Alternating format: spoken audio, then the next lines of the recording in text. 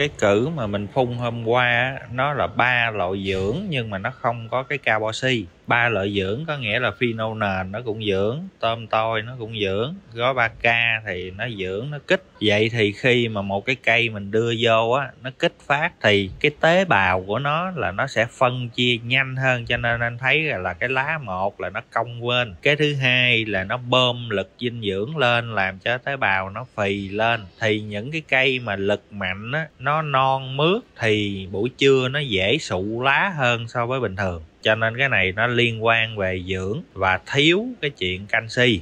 Fino đổi mới nông nghiệp Việt.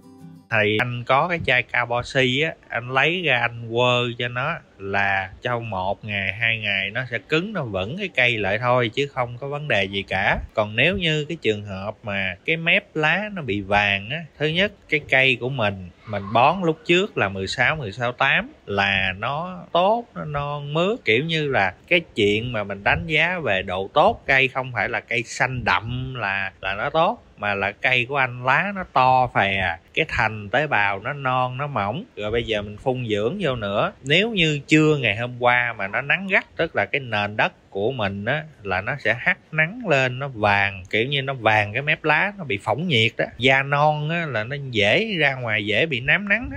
còn nếu như cái trường hợp cái cây của mình á, mà bên phía dưới gốc nó có tủ gom cỏ, nó không có bị hắt nắng nè. Hay là cái cây của mình hôm qua mà mình có pha carboxy vô á, thì nó sẽ không có bị sụ sụ, nó không có bị mềm mềm giống như cái mà anh nói. Và nó cũng không có bị vàng mép lá. Còn cái chuyện tóm lại, vàng mép lá như thế này, nó cũng không có ảnh hưởng, gọi là, quá lớn đến cái cây. Và mình đã vô cái thế đó rồi thì mình chỉ có xử lý là mình à, phun cao bỏ si cho nó vững cái cây lại thôi rồi nay mai là cây của anh nó sẽ phát triển à, bình thường trở lại thôi chứ không có vấn đề gì cả Để nhiều người nông dân được tiếp cận thông tin kỹ thuật mong anh chị hãy nhấn chia sẻ, đồng thời nhấn đăng ký để đón xem những video kế tiếp.